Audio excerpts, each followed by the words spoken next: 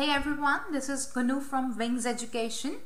We will understand today's concept that is write from dictation for listening for PTE module. Let us see what is the sequence of this question and where this question sits in your listening test.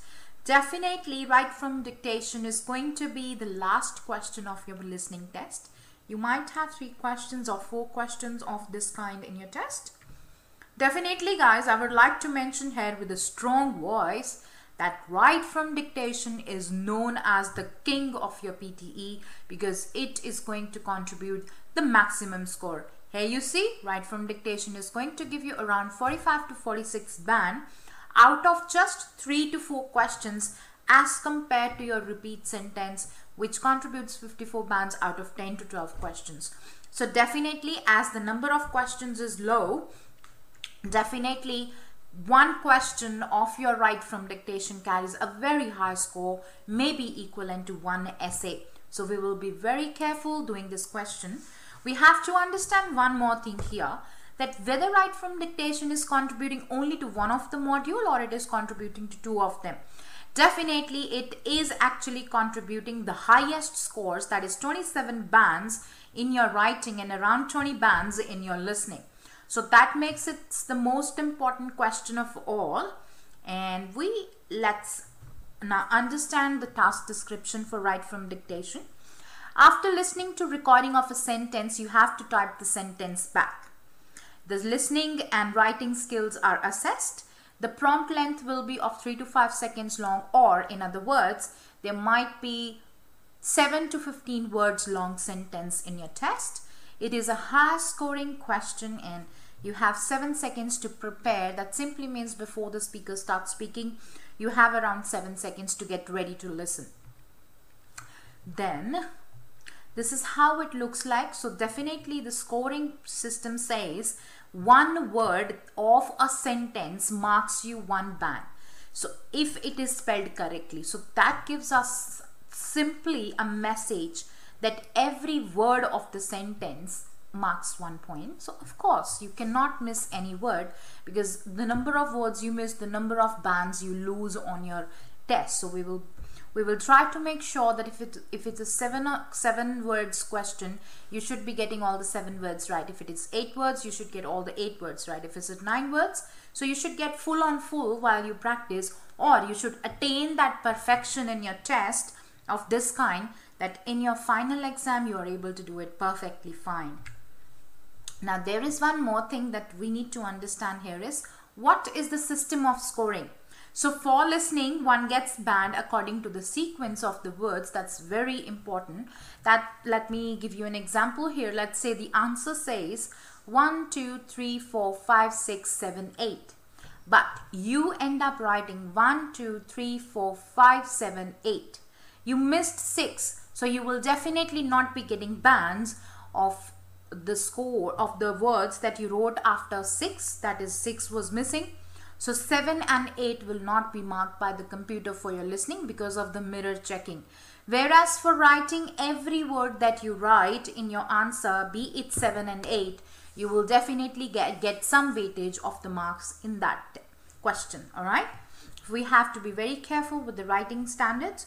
So definitely your write from dictation is more strict in marking than repeat sentence and it is more difficult to get the sequence of the test done. So we have to practice actually this question every day. Maybe 30 questions a day will be a right start. Now we will see what are the strategies. So the very first thing is you have to concentrate on listening in such a way that someone is giving you a message, an instruction. You follow it the way it has to be. Focus on the meaning of the sentence. Take notes immediately once the speaker is done speaking. You can type your sentence after you have heard it.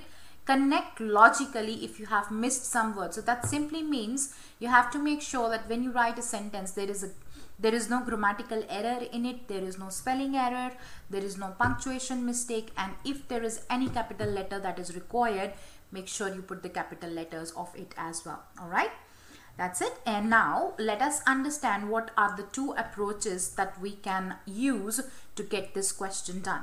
The very first is known as blind approach. What is a blind approach? So blind approach means one is going to close the eyes, focus on the given sentence, follow it as an instruction and keep repeating until type. So I normally ask my students if I say someone, I say, okay, sit properly or else get out of the class. So that's a very simple sentence I said. The student will definitely be able to understand it and will start sitting straight. So it was an instruction to a student. He was able to listen to it and understand it very clearly. The same way you guys have to understand the speaker and feel it like that it's an instruction for you and you will follow it later. So in that way you will definitely make sure that you get the right sequence of your test okay.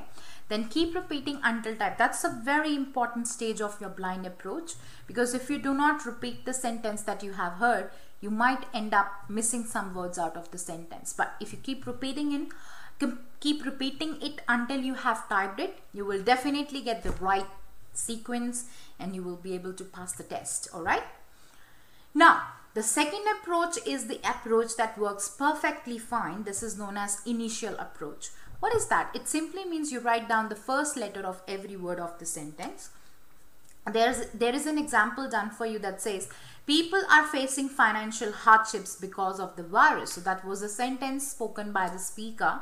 Now you have taken down P for people, R for A, facing for F, financial for F, H with a hyphen S for hardships, because with B, O for F, D for the, and V for virus. So in this way, this is known as initial strategy.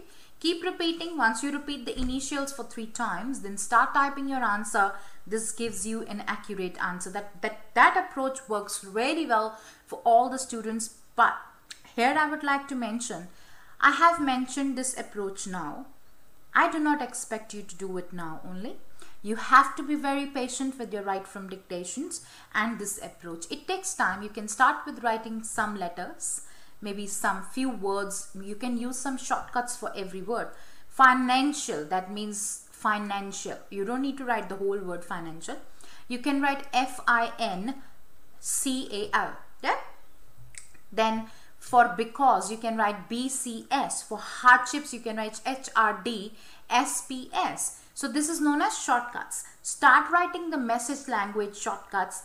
Then you will you then again this is level 1 where you use the message language. Then go to level 2 where you make it more short and then level 3 will be the shortest where you just write one letter. So be patient with the initial approach. It takes time but once you have mastered it you will definitely be able to do it perfectly fine and you will have an accurate answer. You can get 12 on 12, 15 on 15 for your write from dictation. So this is it. If before we leave this session, you have to remember some rules for dictation. It says you should put capital letter and full stop are crucial. Rule of numbers, you will write dates and figures. Rule of comma, whenever there is a silent pause, you have to put a comma. So with this we are done for the lesson. How about Thank you very much guys. If you have thank you very much guys. If you have any further questions, you are always welcome to ask us on Wings Education and the links are on the screen. You can always follow. You can contact us on our website or on our numbers.